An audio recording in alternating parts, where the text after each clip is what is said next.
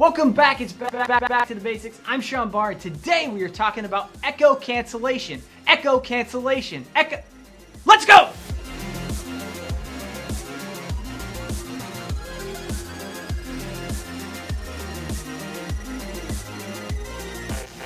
All right, we're back and we are talking echo cancellation or AEC, which is acoustic echo cancellation. So, what is echo cancellation?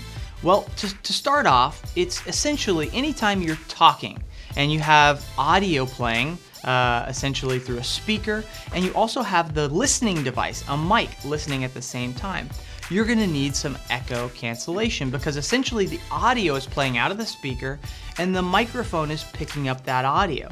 So if I'm on side A and there's a side B and I'm talking through my mic and it's playing out of side B through the speakers, and on side B they've got a microphone, there's a chance I could hear my own voice back because it's playing out of the speaker, there's a microphone, it picks it up and it plays the audio back to the person speaking. So essentially I would hear my own voice and that is the echo.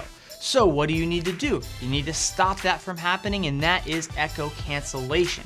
Let's talk a little bit about the history of it. So when it first started out, going back to you know the first phones, they had this problem. So it was typically in a handset, but you could still hear a little bit of it. And it wasn't as prominent as like if you had a speaker and a microphone in like let's say a conference room, but it was noticeable. So what the provider started to do is they said, we gotta solve this problem.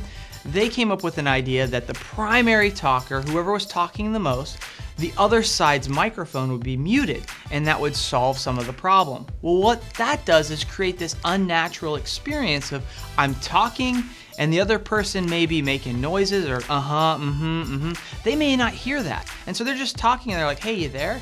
And then, yeah, I'm here. And you get this weird, not human-like experience. So they wanted to fix that.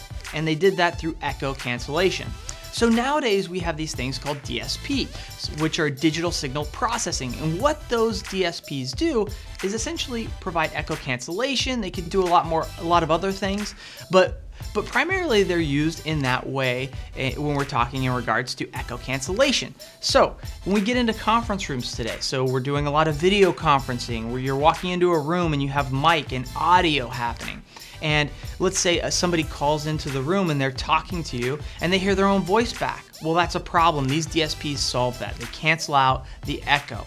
There's other things like uh, impedance mismatch and things like that where you have a microphone and uh, multiple microphones.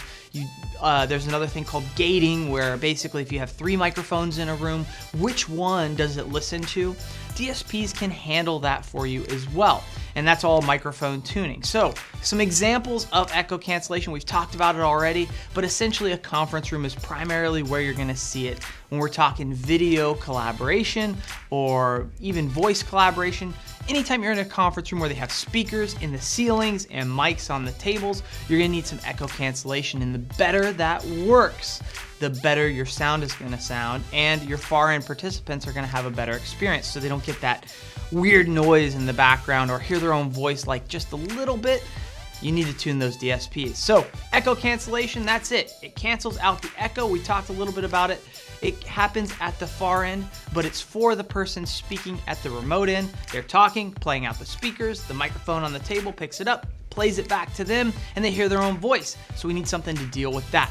That's it. And if I said anything in this video that you're like, hey, I wanna know more, about that. Leave a comment, like, subscribe, and we will see you on the next Back to the Basics. Thanks for watching.